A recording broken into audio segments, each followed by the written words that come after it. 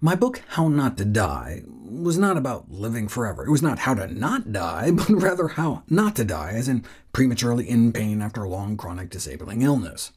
The good news I shared is that we have tremendous power over our health destiny, and that the vast majority of premature death and disability is preventable with a healthy enough diet and lifestyle. How not to age has a similar premise. It's not about immortality, but rather how to age with grace and vigor, rather than suffer from the ravages of infirmity and decrepitude. But why can't we stop aging and live forever?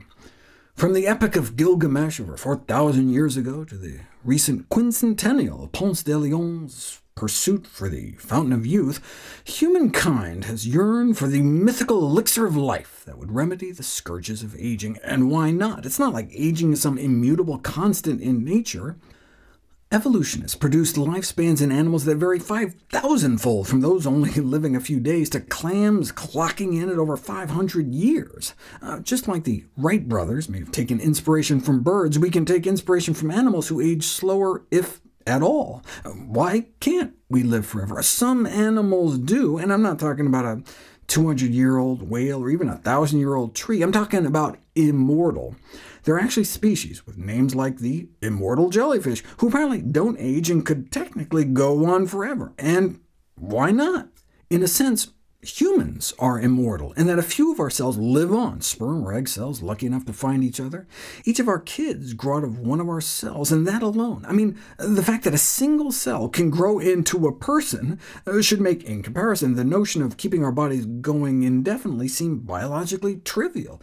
One little fertilized microscopic blob turning into perhaps the most complex object in the known universe, the human brain with its 86 billion neurons spanning 100,000 miles within your head, like four times around the equator, making 150 trillion connections, all emerging out of a microscopic speck of a blob.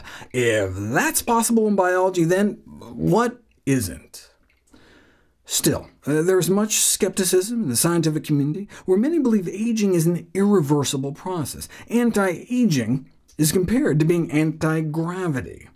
Vocal critics in the gerontology community have accused those suggesting the possibility of greatly extended human lifespans as being contemptible for duping the public, suggesting anything past age 130 is ridiculous.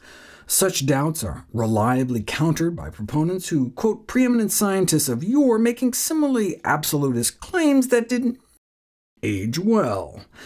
Nobel Prize-winning physicists spoke of the prospect of nuclear power as talking moonshine, a completely unscientific utopian dream, a childish bugaboo.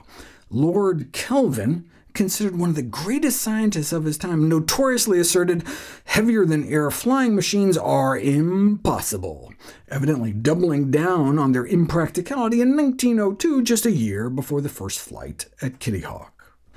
Already in the lab, genetic mutation can affect a tenfold increase in lifespan at least in a species of tiny worm. In mice, dietary and genetic manipulation yields more like a 70% increase.